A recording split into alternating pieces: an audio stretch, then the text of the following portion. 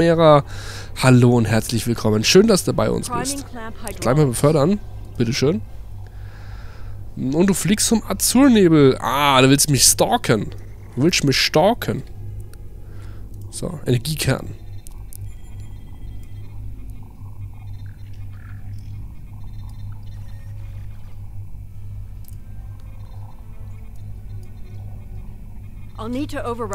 Das ist halt das Ding, ich spiele Sto just for fun. Also ich mache das echt nur aus Spaß. Du jetzt schon fertig, ne? Ich mache das echt nur aus Spaß und deswegen, ich quäl mich zu nichts im Spiel. Wenn ich irgendwas habe, wo ich denke, wozu? Warum mache ich das? Es ist mir einfach zu viel für das, was ich kriege. Das, das ist mir, da ist mir die Zeit zu kostbar. Da, äh, ich meine, wenn du acht Stunden am Tag ähm, arbeiten bist, über acht Stunden, wenn du auch die Hinfahrt rechnest, Rückfahrt rechnest, die Pause zwischen, also ich bin eigentlich gute zehn Stunden am Tag nur für Arbeit unterwegs, dann vielleicht noch einkaufen bist, noch irgendwie was daheim machst, dann noch mit Junior und so, ist ja schön mit Junior, aber ist ja auch anstrengend, ähm, mit Junior und Co. und Bett fertig machst und das Ganze und dann noch, ähm, sag mal, das geht wirklich von früh, vom, vom Aufstehen früh bis abends mindestens um 8 und da bist du einfach fertig. Da bist du einfach fertig und da hast du keinen Bock noch groß jetzt an irgendwelche. Du, ich fühle mich da einfach gezwungen. Ich fühle mich einfach gezwungen, bei solchen Farming-Events mich, mich ins Spiel zu quälen und jeden Tag so ein Zeug zu machen. Da fehlt mir einfach die Abwechslung und die Unterhaltung. Ist, ist ganz ehrlich so und das mag ich nicht.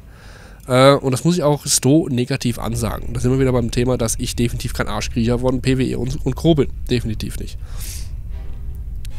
Das Schöne an den Events ist, sie sind primitiv und einfach. Sie sind wirklich primitiv und einfach, jeder kann sie machen und die dauern nicht lang.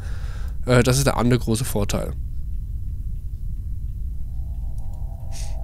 Schalten Sie Ihr Kraftfeld aus. Aber das ist auch mal schön, dass die mit diesem Größenvergleich hier, ne?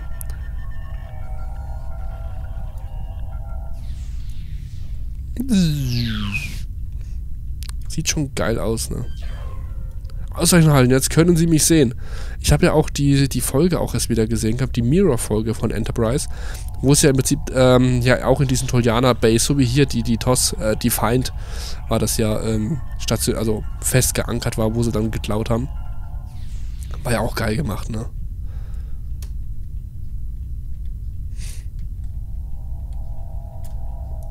Vor allem, aber die haben halt die Enterprise C geholt. Das ist, das ist ja die Enterprise. Also hätten sie die Ambassador genommen oder sowas. Aber nein, es ist die Enterprise.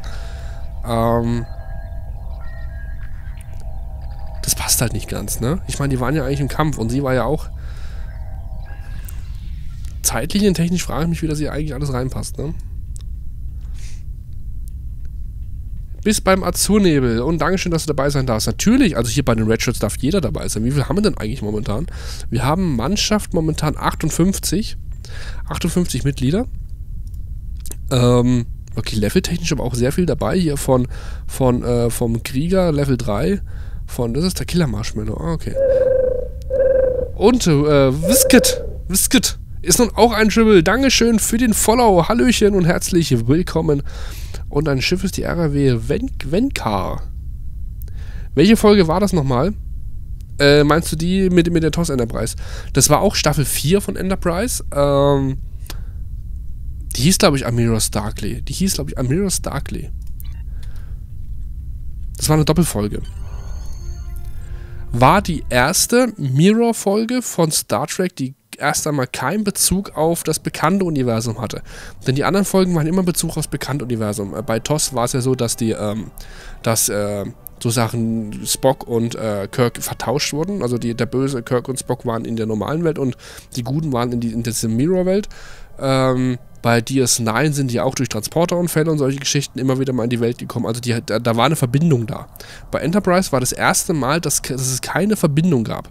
Die, ähm, die Mirrors Universe, Universe gab es dann einfach plötzlich. Das war einfach nur zwei Folgen plötzlich in dieser Mirrors Universe. Ähm, war interessant, sehr interessant, aber mir hat ein bisschen die Verbindung gefehlt. Muss noch mal ein bisschen. So. Energielevel. Bam. Was ist was mit Spiegel oder so? Ja, äh, Amelius Darkly fast, war, hieß die Folge. Oder im finsteren Spiegel. Irgend sowas in der Richtung. Wie das zeitlich reinpasst, ist eigentlich einfach zu erklären. Okay, bin mal gespannt.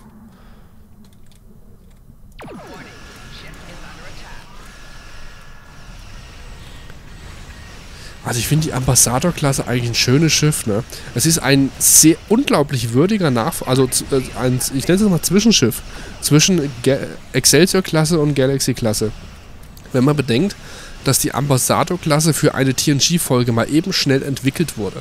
Das heißt, man hatte ja damals die TNG-Folge, wo die Enterprise aus der Vergangenheit kam mit Tasha Ja. Und das hieß, man muss eben mal schnell eine Enterprise, ein C entwickeln.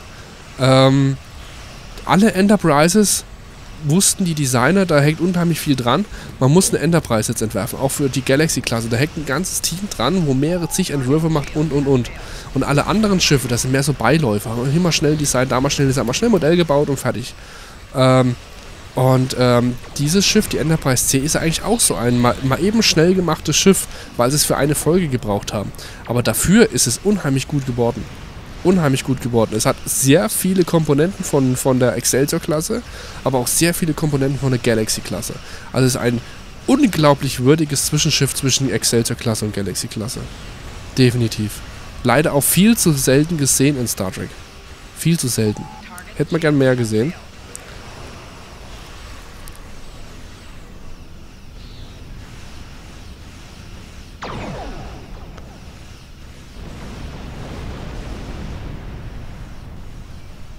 Einladung mit in der Enterprise Mirror Folge war genial. Mit Cochrane am Anfang. Ja, wo er erschossen wurde, ne? Wo er erschossen wurde. Ambassador. Ambassador. Ja, stimmt, Ambassador. Ich sage immer Ambassador. Ambassador wird gesprochen. Ist klar. Ja, stimmt. So, ich muss mal hier... Vor allem muss ich mal da hier... Die ganzen Fähigkeiten, die sind total durcheinander gekommen hier. Ich glaube, das Zeitschiff ist mittlerweile auch schon da, oder? Ja, die passt tack. Also hier, komm. Den kann ich auch. Ich weiß gar nicht, was ist jetzt... Bei den Klingonen... Oh, ich, ich, muss echt mal... Das ist echt ein Problem für mich. Ich kann nicht äh, groß, nicht auswendig, welche Symbole hier für was sind. Muss ich echt mal lesen. Warplasma ablassen. Okay. Vor allem, wenn ich die ganze Zeit auf einem anderen Schiff gewöhnt hast. Da weißt du einigermaßen, was was ist. Aber wenn du mal kurzzeitig so ein Schiff fliegst, musst du mal erst überlegen, was was ist.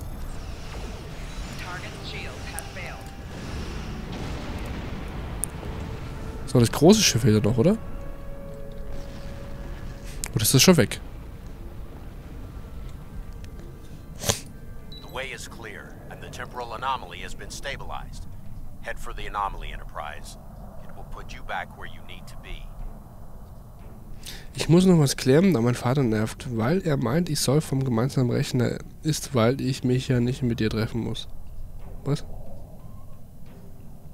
Achso, weil du ja draußen gewartet hattest, okay. Du brauchst einen eigenen Rechner. Am Handy ist Hoshi Imperator. Ja, das fand ich ja auch so geil, dass die so hinterhältig war, ne? Hat aber, hat die aber gut gestatten, die Rolle. Hat mir echt gefallen, dass sie, dass die, die dieses kleine, kleine Blümchen mal zu, zu einer fleischfressenden Pflanze wurde. Das war, hat mir gefallen. Also die Rolle hat hier wirklich mal gestanden, hat sie mal von der anderen Seite gezeigt.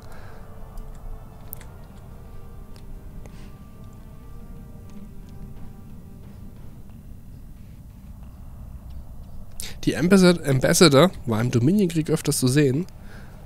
Echt? Muss ich, muss ich nochmal gucken. Aber sie war allgemein, wenn dann, wenn im Hintergrund zu sehen. So, die, die Excelsior-Klasse war sehr oft zu sehen in TNG. Da, der, wenn sich die Enterprise mit einem Schiff getroffen hat, dann war es meistens eine, eine Galaxy-Klasse. Oder auch mit eine, Constitution-Klasse eigentlich, so wie jetzt äh, die Enterprise A, war ja groß gar nicht mehr zu sehen. Obwohl es ein, ähm, wenn du bedenkst, dass ähm, Schiffe, die aus der gleichen Zeit stammen, wie die Miranda-Klasse zum Beispiel, auch sehr, sehr oft noch vorhanden war, waren so Schiffe wie die Constitution-Klasse eigentlich gar nicht mehr vorhanden, ne? Die Hände wieder, was ist denn mit den Händen los? Alter! Was habe ich denn da für einen Klingonen? Ich muss nachher echt mal gucken, ob ich das nur in den Cutscenes habe. Alter Vater. It would be irresponsible of us to let you go back in time with the Enterprise C and compromise that timeline as well. In TNG gibt es ja die Folge Die alte Enterprise und das ist ja ähm, quasi die mögliche Version, mögliche Version der Zukunft. Ja, das stimmt schon.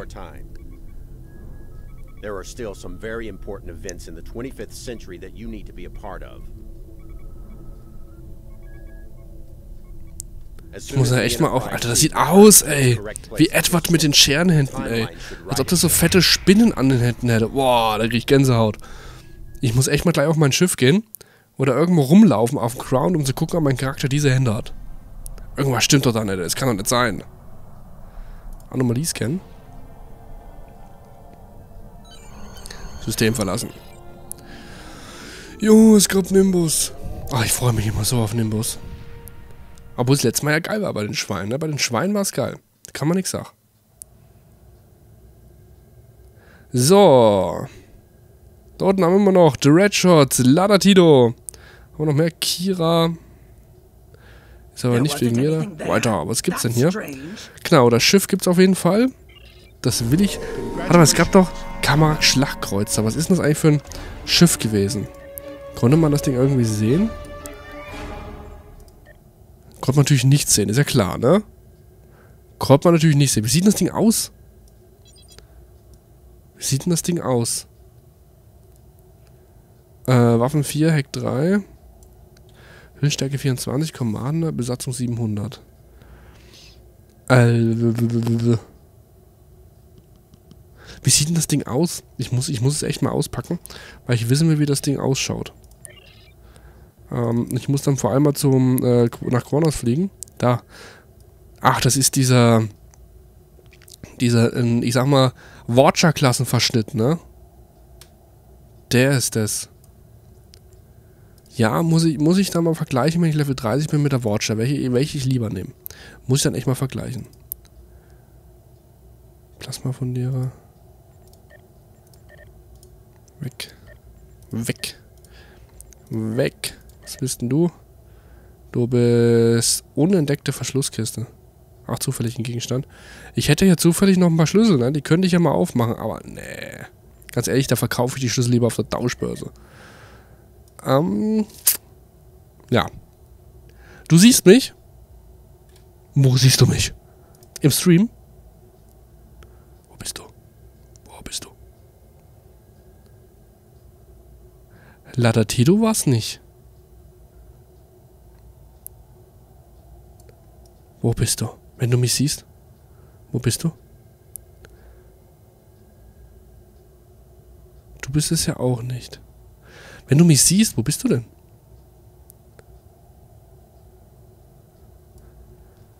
Ähm, ich parke mitten im Nebel. Ja, der Nebel ist groß.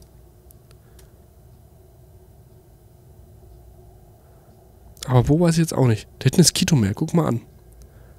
Sarah Jones. Okay, ich muss jetzt nach Quornos, wollte ich. Äh, mach mal Autonavigation. Ich, ich nutze den Flug immer gern zum Reden.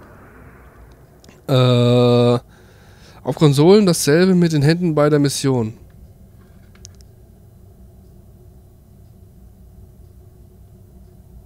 Ach so, äh, auf der Konsole dasselbe. Äh, ich habe aber die Mission schon öfters gespielt und das war das erste Mal, dass ich das hatte. Siehst du, ich wollte auf, wollt auf meine Brücke gehen. Aber das sehe ich ja gleich, wenn ich auf Kronos bin. Ähm, du siehst nicht, der lebt nicht auf großen Füßen, sondern auf großen Händen. Aber die sahen so spinnenartig aus. Boah. Bevor so einer kommt mit den Händen so auf dich zu. So.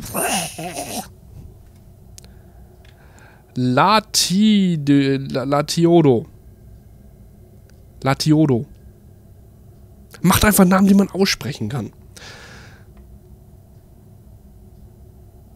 Erinnert mich an die TNG-Folge, wo alle in die urzeitliche Version ist das spätest versetzt wurden. Ja, mit, mit, äh, wo doch hier nach äh, Reginald Barclay, äh, die Barclay, das Barclay-Virus oder Barclay äh, irgendwas, ähm, wo er dann eine Spinne wurde. Ja, ja. Da fand ich auch Worf ganz interessant zurückversetzt. Das, ja, das war eine, auch eine geile Folge. So, ich wollte... Das hier wollte ich überlegen, ne, ob ich die Hüllenwiederherstellung noch dazu mache. So. Und langsam kann ich hier da unten auch weitermachen. Okay. Was gab es denn eigentlich bei Technik? Schwache Kombi Waffenaktivierung entzieht dem Gegner außerdem Systemenergie, höhere Plasmaschaden über Zeit. Der zusätzliche Plasmaschaden durch die Waffenaktivierung wird zu Flächenschaden der nahe Gegner treffen kann. Da muss ich ja mein Schiff für später tatsächlich auf, Waffenscha auf Plasmaschaden umbauen, ne? Hm, hm, hm.